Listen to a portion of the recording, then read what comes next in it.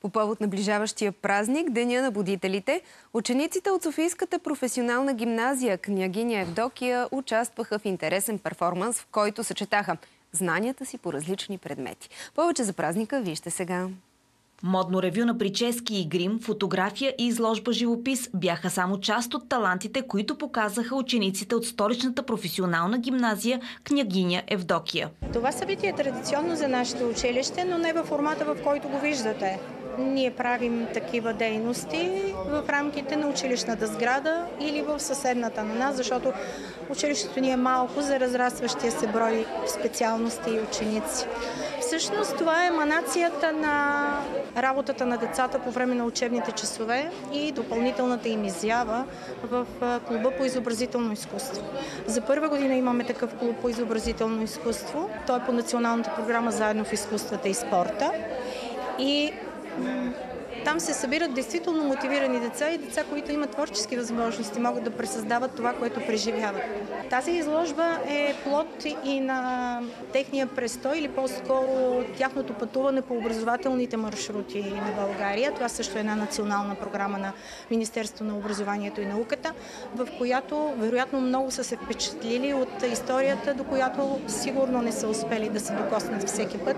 И това са част от техните преживявания и от това, което са наблюдавали, което са видели, визуализирано е по най-прекрасния начин. За поредна година ние имаме утвърден държавен план по две нови специалности, които са в професионално направление дизайнер. И това са театрален, кино и телевизионен декор и художествено осветление на кино, театър и телевизия. Всъщност с тези две нови специалности ние като че ли затваряме арт направлението, а, което се комбинира с други специалности от предходните години. Както казах, имаме промишлен дизайн, фотография, някои от а, творческите професии, и с които е било известно някога училището са фризьорство, а, маникюр, педикюр, козметика. Тоест ние правим едно такова наистина арт направление. Тази посока и концепцията на телевизионно студио. Той ще произвеждаме ваши колеги. Имаме а, радио в училището и всякакви неща, които подкрепят качественото образование. Събрахме така една голяма ученическа гилдия от около 40-50 деца, които се включиха в тази изложба и решихме да го направим с този хубав перформанс и така аз реших с нея да бъде една симбиоза да направим.